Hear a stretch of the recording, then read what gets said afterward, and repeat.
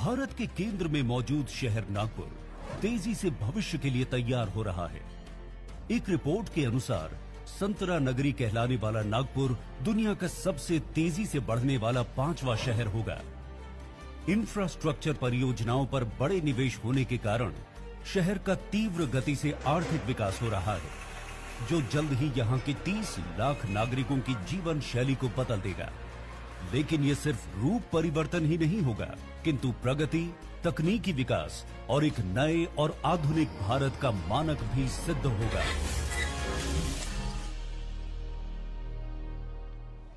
नागपुर को मध्य भारत का प्रवेश द्वार कहा जाता है।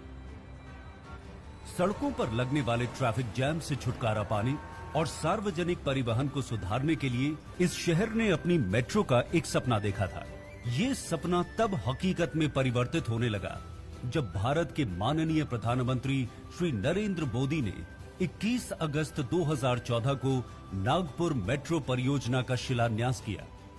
ये सपना वास्तविकता के और करीब तब पहुँचा, जब अपने कार्यारंभ से 27 महीनों की अवधि में ही महा मेट्रो अपने परीक्षण चरण में पहुँच गई। टीम महा मेट्रो के लिए यह सचमुच एक गौरवशाली पल था। क्योंकि इस दौरान टीम ने मेट्रो के निर्माण में उत्कृष्टता के कई मानक स्थापित किए।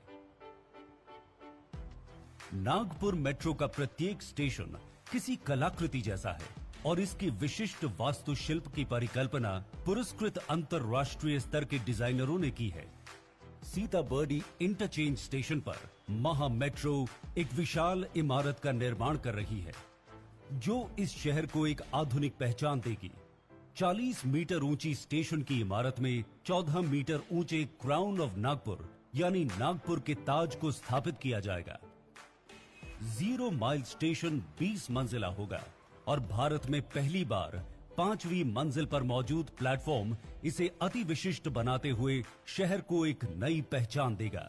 हेरिटेज वॉक की बेहिसाब खूबसूरती सबको सम्मोहित करेगी और नगर को गौरवान्वित करेगी। ये दो विशिष्ट संरचनाएँ नागपुर सेंट्रल बिज़नेस डिस्ट्रिक्ट में नई जान फूकेंगी और मेट्रो सिस्टम के लिए अतिरिक्त राजस्व जुटाएँगी। भीड़ भाड़ वाले वर्धा और कामटी मार्गों पर महा मेट्रो 8 किलोमीटर लंबे, तीन और चार लेयर वाले मल्टी लेयर्ड ट्रांसपोर्ट सिस्टम्स का निर्माण कर रही है, जो देश में पहली बार बनाए जा रहे हैं। महा मेट्रो लिटिल वुड के नाम से एक आनंददायक नया अर्बन फॉरेस्ट भी विकसित कर रही है। इसके अलावा पर्यटन को बढ़ावा देने और अवकाश के दिनों में राइडरशिप में वृद्धि के लिए अंबाजरी लेक व्यूइंग गैलरी का भी निर्माण किया जा रहा है। परियोजना तय समय और लागत में पूरी करने, डॉक्यूमेंटेशन क्वालिटी और एसेट मैनेजमेंट की मुश्किलों को हल करने के लिए महा मेट्रो ने 5D BIM टेक्नोलॉजी पर आधारित देश में अपनी तरह के पहले integrated digital project management platform को अडॉप्ट किया है। आर्थिक रूप से वायबल व सस्टेनेबल बनने के लिए 60 प्रतिशत तक नॉन फेयर बॉक्स रेवेन्यू अर्जित करने की रणनीति महा मेट्रो ने बनाई है। वास्तविक रूप से महा मेट्रो अपनी शुरुआत से पहले ही 140 करोड़ रुपए की आय अर्जित कर चुकी है। अपने बेहतरीन डिज़ाइन व्यर्थ कार्य के खर्च और अकार्य कुशलता पर नियंत्रण के कारण कंपनी ने अपनी डीपीआर लागत का लगभग 10 प्रतिशत हिस्सा बचा लिया है। एक नायाब कदम उठाते हुए महाराष्ट्र सरकार ने 2016 में नागपुर शहर के लिए टीओडी अधिसूचना जारी की, जिससे मेट्रो कॉरिडोर के साथ साथ 500 मीटर के दायरे में एफएसआई दोगुनी हो गई। इससे हासिल होने वाली अतिरिक्त आय को शहर में बनने वाली संरचनाओं के खर्च को उठाने के लिए समान रूप से मेट्रो व म्यूनिसिपल कॉरपोरेशन में बांटा जाएगा। नागपुर मेट्रो के अति आधुनिक डिब्बों में ज़्यादा चौड़े गैंगवे बेहतर व्यू के लिए बड़ी खिड़कियाँ होंगी। अपेक्षी माताओं, दिव्यांग, बुज़ुर्ग और व्हील चेयर में चलने वाले यात्रियों के लिए प्राथमिक सीटिंग होगी। नागपुर मेट्रो देश की सर्वाधिक ग्रीन मेट्रो होगी क्योंकि इसने शुरुआत से ही अपनी 65 प्रतिशत ऊर्जा आवश्यकताओं को पूरा करने के लिए सौर ऊर्जा के इस्तेमाल की पहल की है जिसमें ट्रैक्शन भी शामिल है।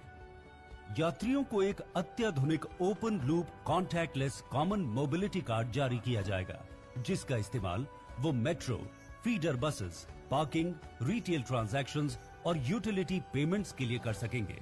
महा मेट्रो ने आम लोगों तक पहुँचने के लिए कई अनोखे और कामयाब सार्वजनिक अभियान चलाए हैं। इसने मेट्रो संवाद, सहयोग और माहिती केंद्रों तथा वाइब्रेंट सोशल मीडिया के ज़रिए साढ़े चार लाख लोगों से भी अधिक के साथ सीधा संपर्क साधा हुआ है। पाँच हज़ार से ज़्यादा मेट्रो मित्र, वॉलंटियर के तौर पर नागपुर मेट्रो के लिए काम करने को तैयार हैं। दस हज़ार से ज़्यादा नागरिक जिन्होंने नागपुर मेट्रो में जॉय राइड की है। उन्होंने पहले ही अपने सपने को साकार होते हुए देखा है। आशा है, जल्दी ही आपसे ट्रेन में मुलाकात होगी। भारत सरकार और महाराष्ट्र सरकार के संयुक्त स्वामित्व वाली नागपुर मेट्रो वास्तव में एक अंतरराष्ट्रीय परियोजना है, जिसमें 10 से अधिक देशों का योगदान है और इसे जर्मन और फ्रांसीसी विकास बैंकों द्वारा फंड किया जा रहा है। उनके और नागपुर के समस्त नागरिकों के हम हृदय से आभारी हैं।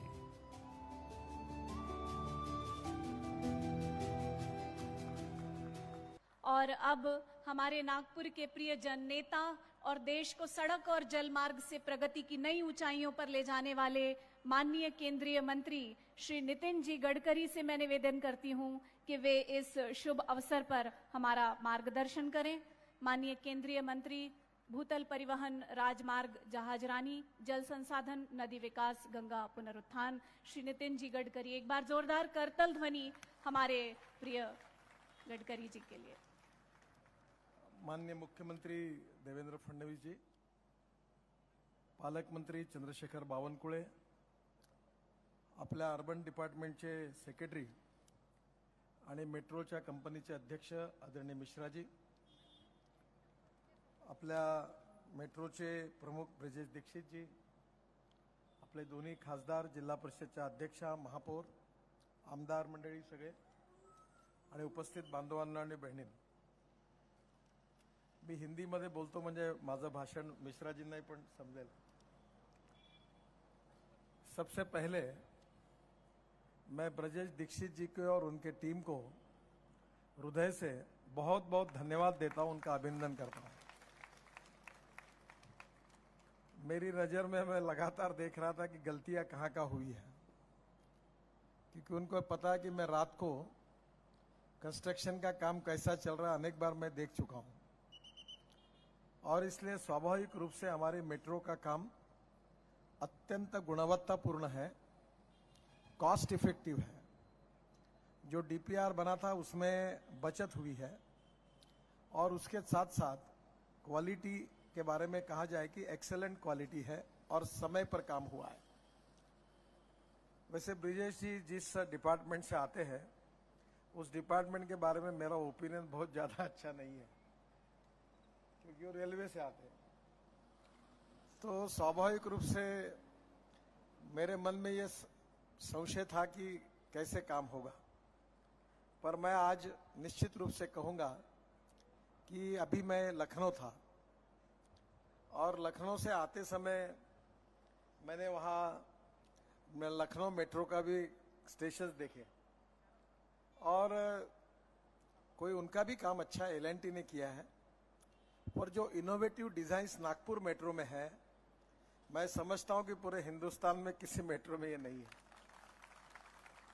दूसरी बात ऐसी है कि हमारे बार यहाँ चर्चा होती रही कि नागपुर महानगर पालिका मेट्रो को क्यों जगह दे रही है? क्योंकि हमारी महानगर पालिका में तो एक समय ऐसी हालत थी कि हम पॉइजन के लिए भी पैसा नहीं खरीद सकते थे। अब इस समय आपने पाँच परसेंट हमको डालने के लिए कहा तो नौ हज़ार करोड़ में से पाँच परसेंट है साढ़े चार सौ करोड़। यहाँ तो साढ़े चार लाख रुपए देने में तकलीफ़ थी। पर आपको पता नहीं कि मेरे बचपन से लेकर नागपुर शहर में जो सरकारी प्राइम जगह थी जिसके ऊपर लोगों ने इंक्रोचमेंट करके जो मालिक बने थे, जो किराया भी नहीं देते थे टैक्स भी नहीं देते थे, ऐसी जगह आइडेंटिफाई करके वो नागपुर मेट्रो को मिली। कॉटन मार्केट में साढ़े चार एकड़ जगह पीडब्ल्यूडी की थी। मैं मंत्री था तब से कोर्ट में कोई खुश नहीं कर पाया। हमारे जिलाधिकारी उस समय बहुत अच्छे थे, सचिन कुरवे, और मैंने उनको कहा कि ये अपने मालकी की जगह और इन लोगों को अल्टरनेटिव देंगे, पर जगह खाली करो और मेट्रो को दो। उस जगह की कीमत सवा सौ, डेढ़ सौ करोड़ है। तो मिश्रा जी, हमने नागपुर की बहुत प्राइम ऐसी ऐसी जगह है। हमारे महानगर पालिका में काम करने वाले और जो लोग अतिक्रमण करते हैं, वो हमारे दामाद होते हैं। कोई भी पार्टी आई तो उनको हम हिला नहीं सकते। पर वो जगह, वो मार्केट हमने मेट्रो को दिए और मेट्रो कम से कम एक करोड़ स्क्वायर फीट डेवलपमेंट कर रहा है। और इसमें से महानगर पालिका को टैक्स के रूप में कम से कम 200 करोड़ रुपए मिलने वाले हैं। और जो इनकम है, उसमें आधा महानगर पालिका और आधा मेट्रो का तो वो भी फ़ायदा मेट्रो को मिलने वाला है। तो स्वाभाविक रूप से ये जो मॉडल है, ये बहुत अच्छा है। और इसलिए साढ़े तीन सौ करोड़ पर किलोमीटर कैपिटल कॉस्ट होने के कारण ये महानगर पालिका और स्टेट गवर्नमेंट को इतना पैसा देना बहुत कठिन है।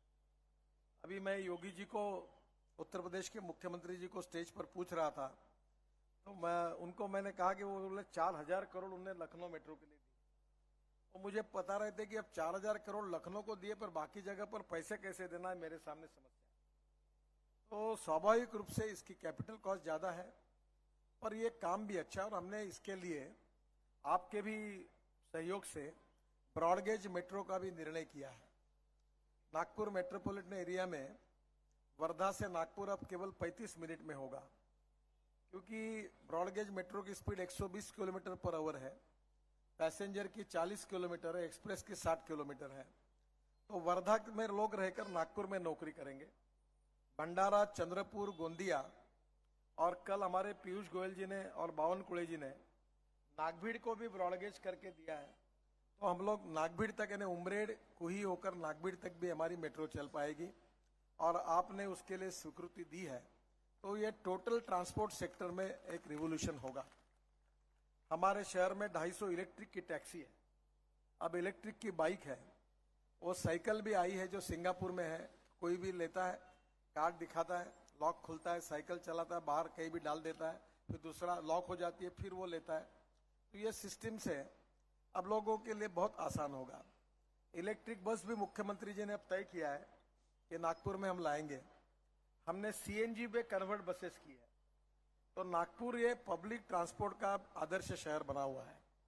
और उसमें और एक बात मेरे मन में है, पर उसकी कोई घोषणा नहीं कर रहा हूँ, क्योंकि हमने अभी डॉफल मेयर करके जो ऑस्ट्रेलियन कंपनी है, जिसका वर्ल्ड में ट्रांसपोर्ट में ropeway, cable car funicular railway में 65 परसेंट शेयर है। उन्होंने हवा में चलने वाली डबल डेकर बस 260 कैपेसिटी की फिलीपाइंस में शुरू की है।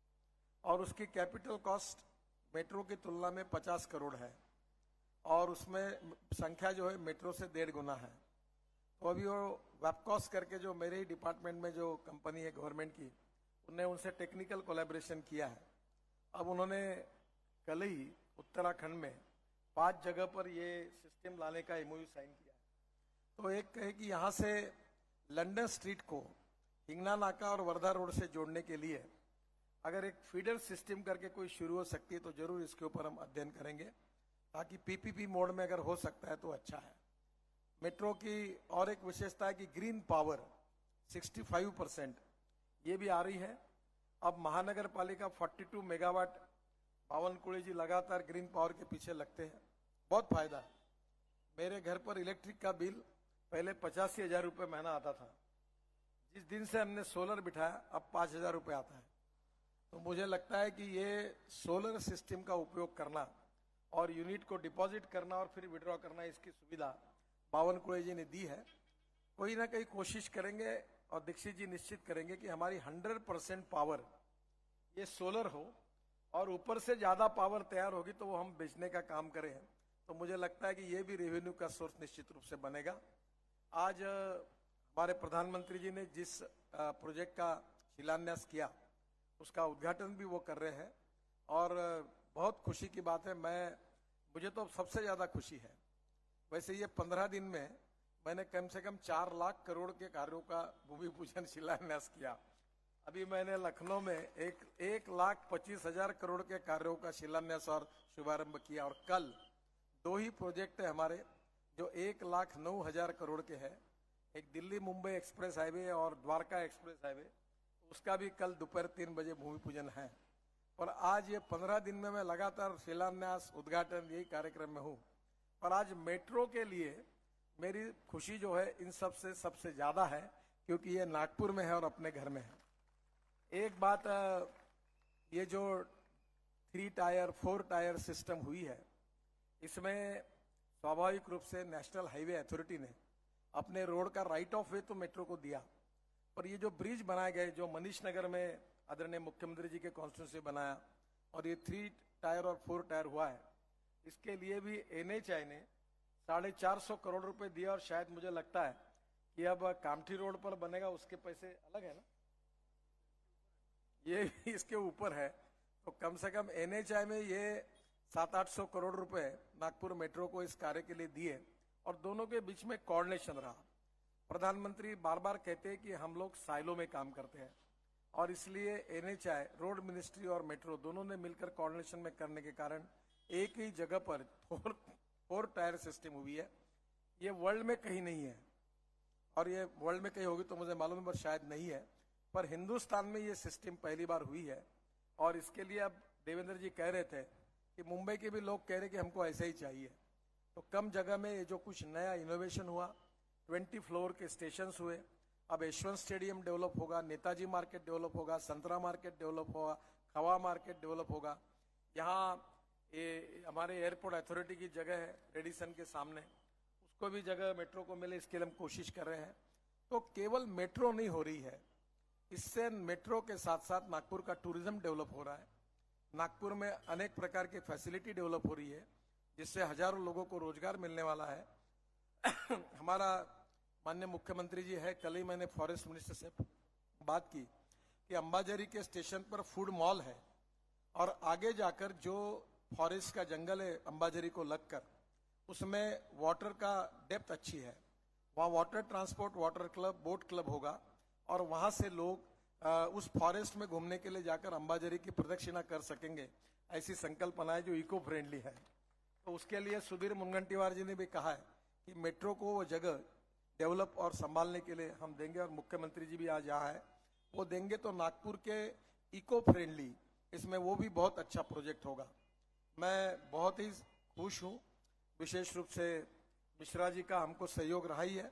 पर ब्रिजेश जी ने जिस प्रकार से काम किया उनके टीम ने अच्छा काम किया और सभी इंजीनियर्स प्रोजेक्ट कंसल्टेंट्स और सबसे ज़्यादा हमको फाइनेंस जिन्होंने किया है वो फ्रांस के लोग भी यहाँ उपस्थित हैं I am giving my special thanks to the financial agencies from France और because of their support it is the dream is now possible for us to fulfill.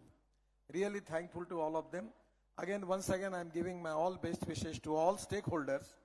Those have uh, different roles and with their very, very uh, important role which they already executed with their new innovation vision and with the quality approach and cost effectiveness.